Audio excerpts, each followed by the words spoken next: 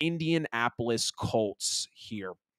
They have the fourth easiest schedule walking into the NFL season, and they're projected at six and a half wins. I have the Colts going six and 11 overall this year. So just under on that six and a half projected win total. Splitting at home. Uh, the, um, I know they have some international games as well. I believe they do, if I'm not mistaken.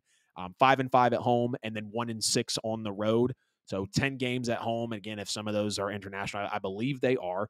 Um, and then one and six on the road. They're going to go two and four in the division, splitting with the Titans and splitting with the Texans, but they're going to get swept by the Jags. And I believe the Colts, Texans, and Titans are all going to be in a situation where you, know, you got rookie quarterback, rookie quarterback, and potentially another rookie quarterback in Will Levis. You know, all these quarterbacks taken in the draft right here in this division.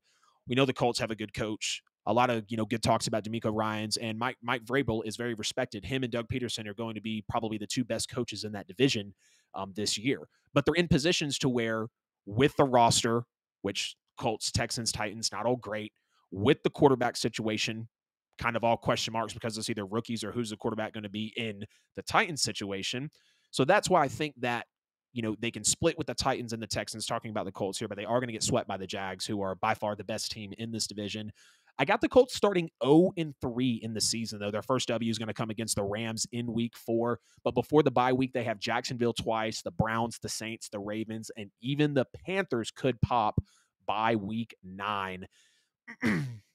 So much needed, uh, excuse me, much needed by week in week 11, but they're going to have a record of three and seven heading in. Again, you're going to be facing, you're going to have that W against the Rams, but when you're facing Jacksonville twice, which both of those are losses, Browns, that's a loss, Saints, that's a loss, Ravens, that's a loss. Um, you could beat the Panthers, which I think they, I don't know. I have a lot of faith in Bryce Young being that number one pick, Frank Reich. Um, you know, really making things happen. I know we have Shane Steichen here as well, but he's a rookie head coach versus Frank Reich being a seasoned head coach in this league, and we know what he's done, you know, being in the NFL. And I have a lot of faith in what Carolina, you know, I realistically think Carolina by week nine, maybe even week five to seven, they could be competitive. You know, like they could be playing football like a, a B minus team, you know, still some moves away from the Super Bowl. But um, nonetheless, it could be either way game for the Colts. I believe it's going to be a loss. So much needed by week in week 11. They're going to have a record of three and seven walking in. They're going to be playing five games against playoff teams from last year. They're going to go one and four in those games, two losses to Jacksonville. They're going to lose to the Ravens. They're going to lose to the Bengals.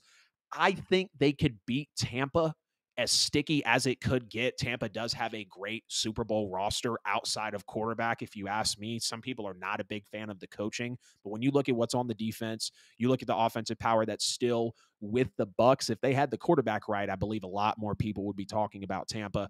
It's going to be a win here. It could be a potential loss. And I'm kind of actually questioning myself why I put a win against Tampa. But hey, we'll stick with it.